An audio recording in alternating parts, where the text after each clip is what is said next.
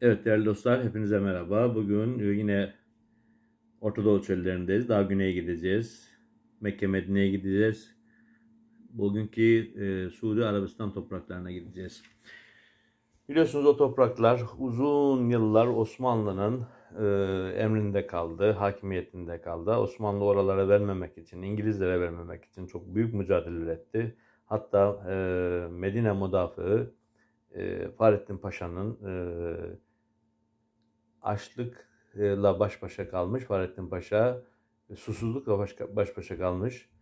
Açlıktan ölmemek için çekirge yedirmiş ordularına, askerlerine, bir avuç askerine. O zor şartlarda ben Peygamber Efendimiz'i İngilizlere teslim etmem diye mücadele vermiş. Bu e, İngilizler Orta Doğu'nun haritalarının çizilmesinde çok büyük etkin etmişlerdir. Önce e, Şerif Hüseyin'i, Mekke Şerif'ine isyan ettirmişler.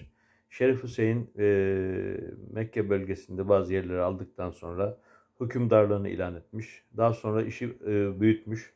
E, bütün Arapların e, lideri, kralı olmak istemiş. Hatta onunla yetinmeyip e, bütün Arap camiasını ve bütün Müslümanların halifesi olmak istemiş. İngilizler bakmışlar ki bu adam bizim önümüzde engel olacak. Sıkıntı e, Suud aşiretiyle e, anlaşmışlar. Suud aşiretini Osmanlı daha önce isyanlarla yerle bir etmişti. Her tarafa dağılmışlardı. E, ondan sonra bunlar tek tek buluyor ve Osmanlı'ya isyan ettiriyorlar. E, ağır silahlar verdiriyorlar. Osmanlı zaten e, kuzeyde e, demir yolları patlatılmış, e, İngilizlerle savaşıyor. Bir taraftan Fransızlarla savaşıyor.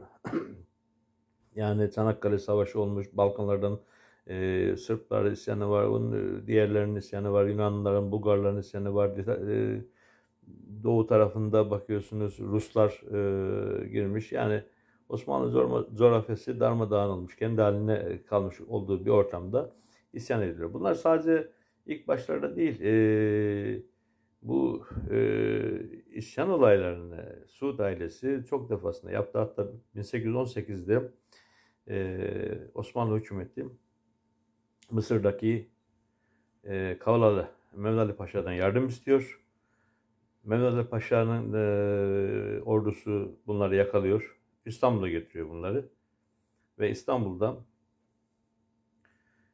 Abdullah bin Suud yani bugünkü Suudi Arabistan'ı kuranın e, Suudi Arabistan krallarının dedesi Abdullah bin Suud ve e, beş tane e, ileri gelenleri İstanbul'da idam ediliyor. Başlar kesiliyor. E, Topkapı Sarayı'nda bunlar sergileniyor. Bedeninin denize atıldığı söyleniyor. E, ondan dolayı bu Suud ailesi Osmanlı'yı sevmez. Türkleri sevmez yani. E, ama İngilizlerin, Amerikalıların emrindedir. Bakın bugün mesela Suud ailesi İsrail aleyhine bir gram faaliyet yapmaz ama gariban Yemen'i bombalar. Ee, bunlar işte hesaptan Müslüman din kardeşimiz deriz. Ee, bizi de maalesef İngilizlerle işbirliği yaparak ee, çok büyük sıkıntılara sebep olmuşlardır bizim açımızdan. Yani biz burada Arap düşmanlığı, işte İslam düşmanlığı yapmıyoruz, ümmet düşmanlığı yapmıyoruz. Gerçek nedir? Onu bilmek lazım. Yoksa Osmanlı İmparatorluğu uzun yıllar Haçlılara karşı Osmanlı olsun, Selçuklu olsun yani Türkler, Türk milleti Haçlılara karşı e, ve İslam'a gelebilecek bütün e, karşı tesirlere karşı, milletlere karşı dik durmuştur.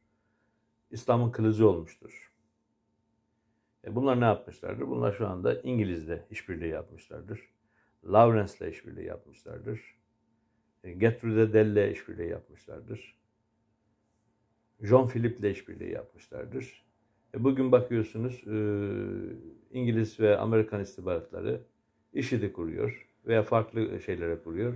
Aynı çöllerde aynı senaryolar. Ezilen gene o bölgenin halkı tek dik duran, adam gibi duran yine Müslüman bir ülke olarak Türkiye karşımıza gelir. Evet, Suudlar bizi neden sevmez? e, dedik. Dedelerini astığımızdan dolayı e, hala da bize kin güderler. Mutlaka kafalarında vardır. Vahabi denilen e, çok fanatik bir e, mezhebin içindeler.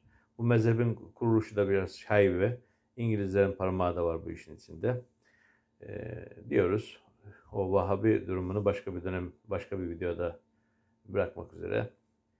E, buluşmak üzere diyelim. Hepinize saygı ve sevgiler. İyi akşamlar, iyi günler.